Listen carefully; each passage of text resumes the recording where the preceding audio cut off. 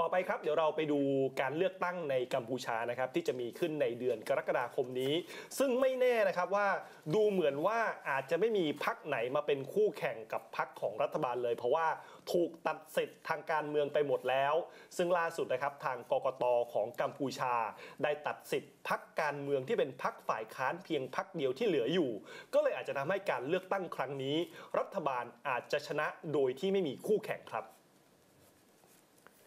คณะกรรมการการเลือกตั้งของกัมพูชาประกาศว่าพักแสงเทียนนะครับหรือว่า Candlelight Party ขาดคุณสมบัติในการเข้าร่วมการเลือกตั้งที่จะมีขึ้นในวันที่ 23 กรกฎาคมนี้ เนื่องจากว่าทางพักไม่ได้ยื่นเอกสารจดทะเบียนอย่างถูกต้องเหมาะสม ซึ่งเรื่องนี้ก็ทำให้นายสอนชาย รองประธานพักแสงเทียนออกมาประกาศว่า จะยื่นอุทธรณ์ต่อศาลรัฐธรรมนูญ เพื่อเรียกร้องความเป็นธรรมให้ถึงที่สุด ด้านโฆษกพักประชาชนกัมพูชาหรือพัก CPP ของนายกรัฐมนตรีฮุนเซน ยืนยันว่าการเลือกตั้งทั่วไปครั้งนี้ จะเป็นไปด้วยความเสรีแล้วก็มีความยุติธรรม เพราะว่ามีพักการเมืองมากกว่า 10 พักเข้าร่วมการแข่งขัน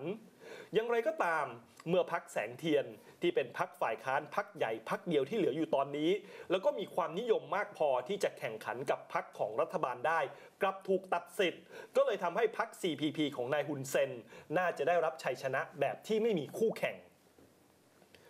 พักแสนเทียนก็เป็นพักใหม่ที่เพิ่งก่อตั้งได้เพียงแค่ 1 ปีกว่าๆเท่านั้นนะครับ แต่ว่าได้รับความนิยมเพิ่มขึ้นอย่างรวดเร็ว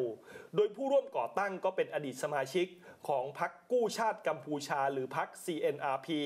ที่ถูกศาลสูงสุด สั่งยุบพักไปในปี พศ 2560และก็ทำให้อดีตสมาชิกของพรรค CNRP เกือบร้อยคน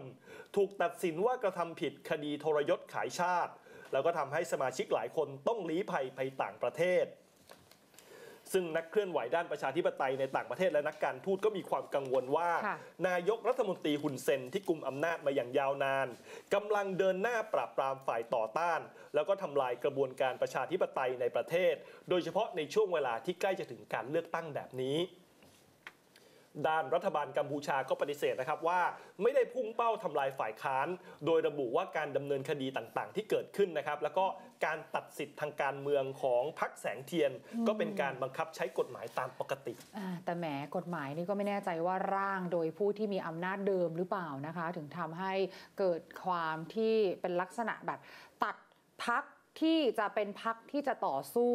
เอ่อฮุนเซนได้พักเดียวเท่านั้นทำให้แบบไม่มีพักไหนแข่งขันได้เลยนะคะใช่ครับ ถ้าอย่างนี้มันก็จะบอกได้ยากนะครับว่าเป็นการเลือกตั้งที่เสรีแล้วก็เป็นไปอย่างยุติธรรม ซึ่งก็ต้องดูว่าพอผลการเลือกตั้งออกมาแล้ว นานาชาติจะให้การยอมรับมากน้อยแค่ไหจนริงๆ เรื่องของการเลือกตั้งนี่นะคะ ก็รอบๆบ้านเรานะคะ ทั้งกัมพูชาทั้งเมียนมารวมถึงประเทศไทยเองเนี่ยก็คงจะต้องมีการพัฒนาเรื่องของประชาธิปไตยครับให้ก้าวไปขึ้นเรื่อยๆนะคะ